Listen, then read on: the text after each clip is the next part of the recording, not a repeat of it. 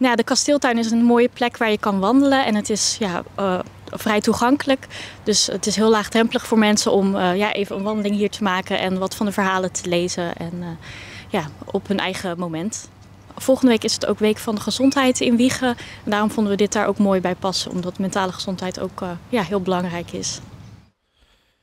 Deze bijzondere tentoonstelling staat in Kasteeltuin Wiegen. Deze plek is onder andere gekozen omdat de borden bij elkaar geplaatst konden worden in plaats van uit elkaar. Ieder bord heeft zijn eigen persoon en verhaal. Ja, op de tentoonstelling uh, kun je er portretten zien van uh, jongeren die kampen met depressiviteit. En dat zijn jongeren uh, nou ja, tot en met 30 jaar de verhalen van deze jongeren zijn hier ook op te lezen. Want we vinden het belangrijk om niet alleen uh, een gezicht te geven aan jongeren die kampen met depressiviteit, maar ook om hun ervaringsverhaal te delen. Zodat eigenlijk iedereen in de maatschappij kennis kan nemen van hun ervaringen en van hun verhalen.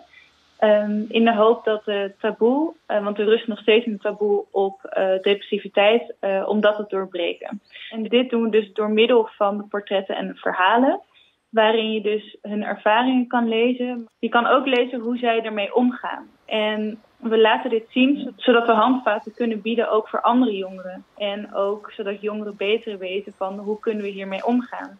En om te laten zien van het is oké om hier open over te zijn en om, um, om dit bespreekbaar te maken, ook met anderen in je omgeving.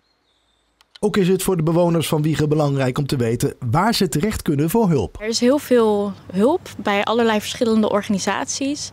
En uh, nou ja, jongeren of ouders die daar vragen over hebben en ja, zoekend zijn van nou, wat zou, uh, ja, is het misschien handig als mijn uh, kind een keer met iemand zou kunnen praten. Dan kan dat bijvoorbeeld via de school, via schoolmaatschappelijk werk. Zij hebben een goed beeld van wat er qua hulp mogelijk is. En ook uh, nou ja, het Sociaal Wijkteam in Wiegen kan daarbij helpen. En ook uh, de welzijnsorganisatie Meer voor elkaar. Die heeft ook veel aanbod voor zowel ouders als jongeren om uh, hun te helpen om zich goed in hun vel te voelen.